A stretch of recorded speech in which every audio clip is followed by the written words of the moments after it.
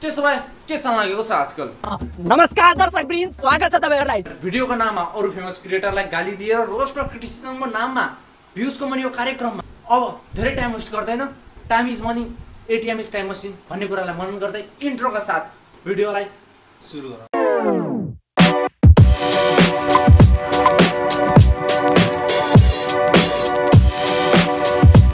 नमस्कार दर्शक महानुभाव स्वागत छ हजुरलाई।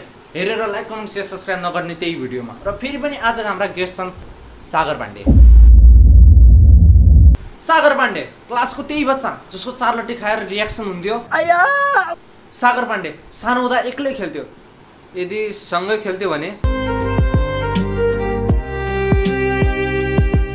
सागर पाण्डे जसको च्यानलको एबाउट सेसनमा गएर हेर्छु भनेपछि कमेडी भिडियोज लेखाएको छ। मैले उसको च्यानलमा भिडियोज त पाएँ तर कमेडी क सागर पाण्डे आफ्नो भिडियोमा दुई बुढीसँग बिहे गर्छ।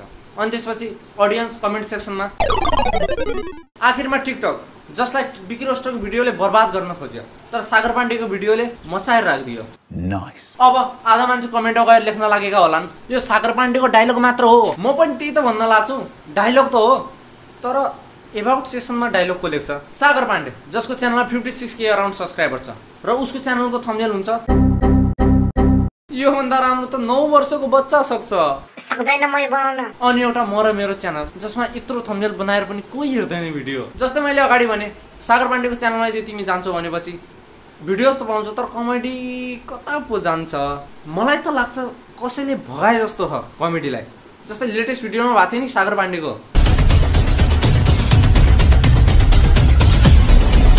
सागर पाण्डे जसको च्यानलमा कमेडीको नाममा साउन्ड इफेक्ट र रियाक्सन मात्र हुन्छ।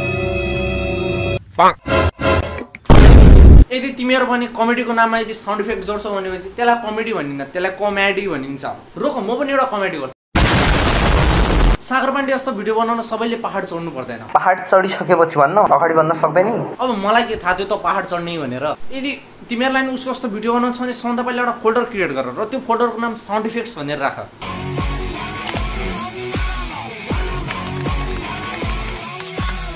अनि जति दुनियाँ जमानाको साउन्ड इफेक्ट छ सबै त्यसमा हाल अनि भइहाल्यो तिमीहरूले अरू केही गर्नु पर्दैन। अनि हेर तिमीहरूले पायो तिन लाख भ्युज पाँच हजार लाइक्स। ल अब आखिरमा सोल्युसन। सागर पाण्डेले यदि आफ्नो भिडियोको कन्टेन्ट अपलोड गर्नु छ भनेपछि के गर्नु पऱ्यो भनेर।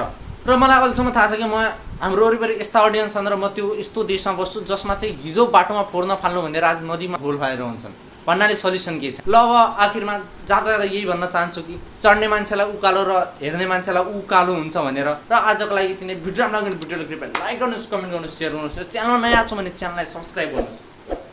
र म मिल्छु हजुरलाई चाहिँ कुनै अर्को भिडियो त्यति बेलासम्मको लागि बाई